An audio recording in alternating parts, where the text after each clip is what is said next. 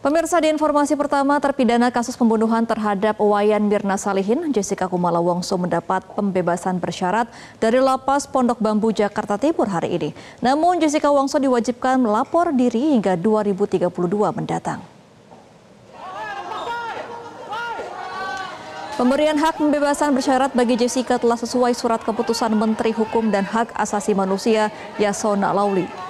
Selama menjalani pidana, Jessica juga disebut telah berkelakuan baik. Pada sistem penilaian pembinaan narapidana, Jessica mendapat total remisi sebanyak 58 bulan 30 hari.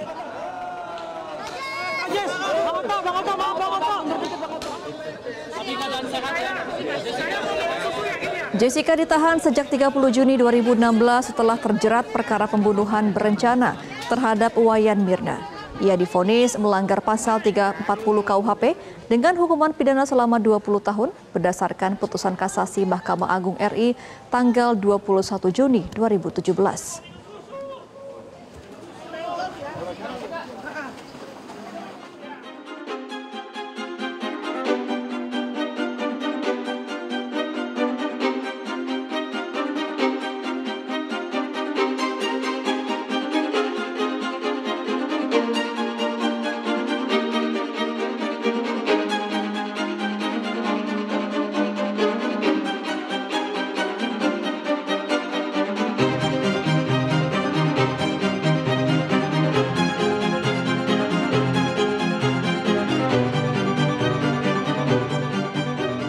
Jelajahi cara baru mendapatkan informasi. Download Metro TV Extend sekarang.